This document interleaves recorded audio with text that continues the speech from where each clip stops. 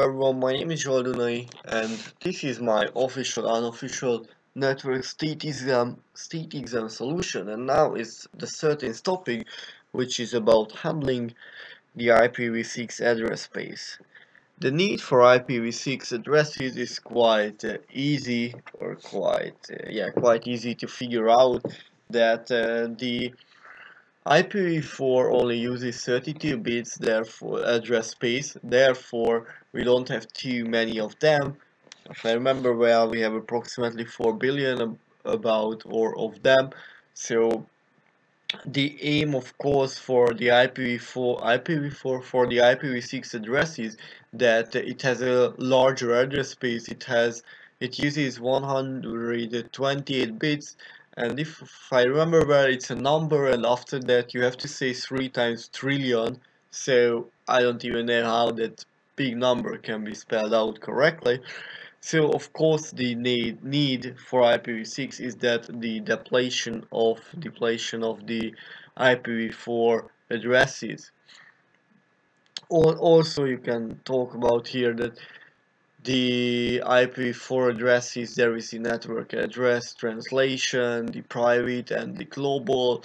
So the network address translation helped to mitigate the depletion a bit but we cannot avoid the inevitable. So that's why we need the IPv6 addresses but of course it is hard to cope with them because of course as I said we have a lot of IPv6 addresses but there should be a conversion between the IPv4 to the IPv6 there should be some new devices or some new functionality and of course the internet supporters are not aware of that. I mean that's why we're still using IPv4 because they did not uh, come up with everything of course here you can talk about if I remember well dual stack and other stuff that but I will not. The structure and format of the IPv6 addresses as I said we have a lot of other stuff and how does it look like? We can type 8 times x if I remember well. 5 6 7 8 so basically that's how it looks like and which means that x can go from 000 0 to fff so we are using hexadecimal. And uh, basically the structure this is the format. Of course here you can come up with all the bullshit that you know that for example let's start it's 2001 uh, let's say 0 f e0 or 1 because I don't know what these are meaning. Let's say 40 40 40 40 come on. 1 2 3 4 5 6 40 no. There you go. So let's assume that this is an IPv6 address even though I believe not. So of course you can come out that we can omit the zeros. So you can type uh, this. If it starts with zero you can omit them. And if we have four zeros you can write a simple one. Instead of writing all of them out and then again omit the last. And if I remember well if we have like this in my example a lot of zeros then I believe we can do something like this because we know that between them there will be only zeros. So I mean between here there will be only zeros therefore we can shorten them down.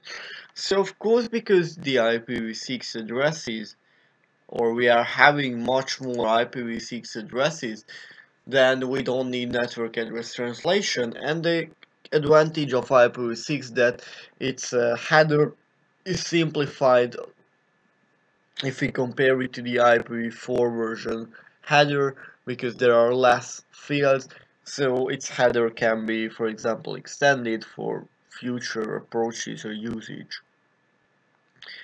the different types of IPv6 addresses and their usage, the IPv6 multicast addresses, solicited node addresses. Okay, so the different types. Meanwhile, at IPv4, we are using unicast, multicast, and broadcast. The, meanwhile, here at IPv6, we are using unicast, anycast, no, unicast, multicast, and anycast, not broadcast. And unicast is exa exactly the same. We are sending to a destination. The multicast is we are sending to a group and the anycast is we are sending to uh, these two multiple desired destinations.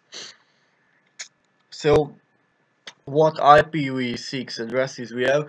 We have the unicast global, which is basically the IPv can is similar or can comparing to the IPv4 public version so these IP addresses are used by internet service providers routers in order to help the routing and uh, that's all. We have the unicast link local.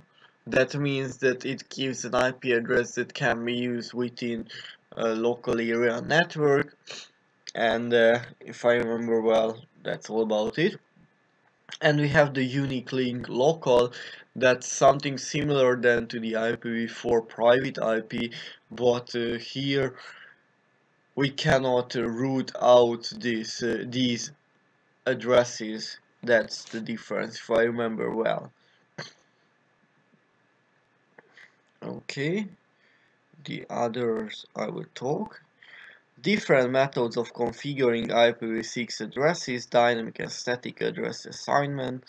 Of course we can assign the static IPv6 we have to give the prefix and the length so it's a bit almost the same like at IPv4 and we can dynamically assign it to the DHCP version 6 protocol but the with the with IPv6 we have different approaches because we the it is possible to dynamically allocate an IP address without communicating with a DHCP server.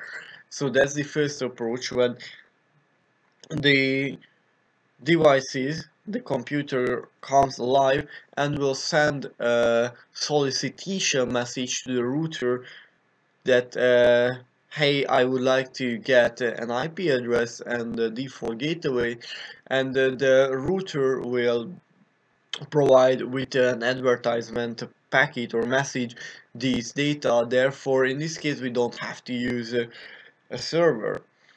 We have the what what what else we have? We have the other one. I know that there are three approaches. This was the simple where we don't need I know that there I don't know what its name but there is an approach that we are asking data from uh, the local router to give IP address but we are asking but we are getting some additional information from the DHCP server and uh, this additional information can be for example the domain.